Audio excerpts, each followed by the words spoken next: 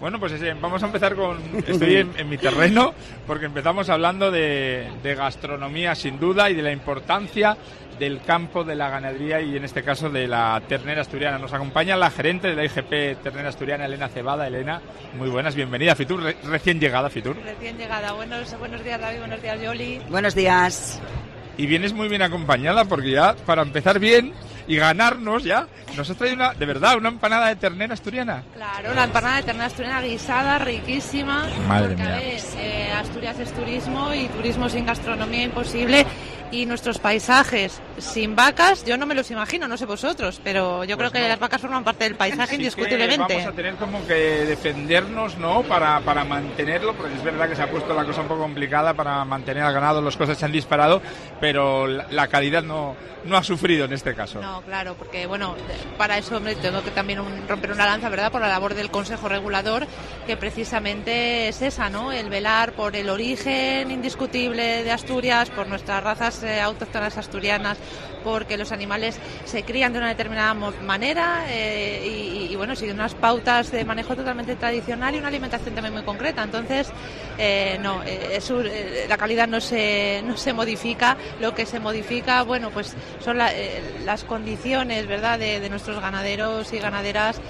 que lo tienen un poquito complicado pues porque los costes de producción están muy disparados y eso pues claro repercute directamente en la Elena es sorprendente no no hemos visto bueno sobre nuestra mesa sí que están las banderitas de ternera asturiana no las vemos en el stand del Principado de Asturias pero sabemos que, que tenéis una jornada por delante muy atareada. No sé si mañana eso ya nos vas contando hoy estoy segurísima porque estáis y, vamos nos vais a representar a lo grande en el stand del Ministerio de, de Agricultura y Alimentación. Pues sí allí estaremos eh, agradeciendo, por supuesto, a, Alimentos de España y al Ministerio por la oportunidad de tener también un espacio para, para enseñar a, bueno, a los miles de visitantes, ¿eh? porque esto estaba rotadísimo y así va a estar durante todos estos días y, por supuesto, durante todo el fin de semana.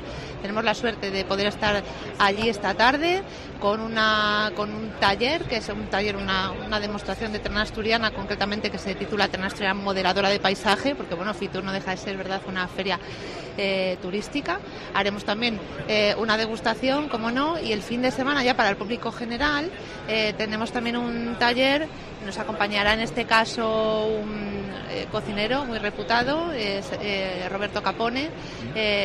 bueno, tiene, fue protagonista de, un programa de cocina bastante renombrado en televisión española, Las Rutas Capone. Bueno, es una persona muy dinámica, muy divertida, estoy segura que nos va a ayudar a poner en valor eh, la terna asturiana, que es de lo que se trata. ¿no? Mm. Bueno, eh, hablamos, el mundo de la sostenibilidad es cada vez más importante en todos los discursos y en eso habéis sido también, bueno, estáis siendo pioneros con el análisis del ciclo de vida y sobre todo con ese sello bienestar animal también para, para entender que estamos todos en el mismo barco y Terna Asturiana también no solo quiere lo mejor para los animales, sino queremos contaminar lo menos posible y estáis trabajando muchísimo en ese sentido, muy alineados, ¿no? Sí, la verdad es que bueno, el Consejo Regulador eh, tiene claro que la sostenibilidad es el camino, no puede ser una moda, para nosotros no es una moda, es una manera de entender cómo se debe de producir y queremos eh, abanderar además eh, la mejora, porque de acuerdo estamos sabemos que nuestra producción es muy sostenible, lo tenemos avalado con datos, sabemos que el consumo durante un año de ternera asturiana de una persona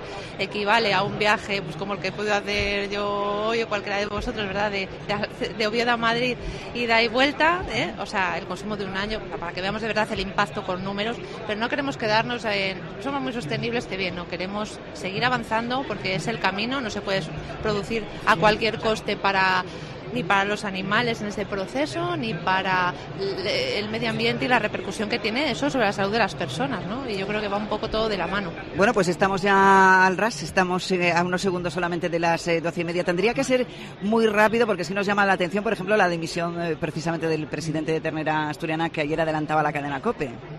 Sí, bueno, la verdad es que solo nos queda desde Terna Asturiana, eh, bueno, pues eh, eh, lamentablemente hemos tenido que comunicar esta circunstancia pues por un motivo de salud y solo nos queda pues desearle lo que queremos todos, que es una prontísima recuperación. Pues Con ello nos, nos quedamos, sumamos, de hecho, nos sumamos. Y estamos ya en pleno concurso de cachopos. Han abierto las inscripciones ya para los hosteleros de toda España. Ah, pero vamos a hablar de eso más tranquilamente. En otro momento, pero vamos a hablar de eso más tranquilamente. Hasta luego, Elena. Le vamos a dejar a la gente, nuestros oyentes con la miel en los labios. Un besazo.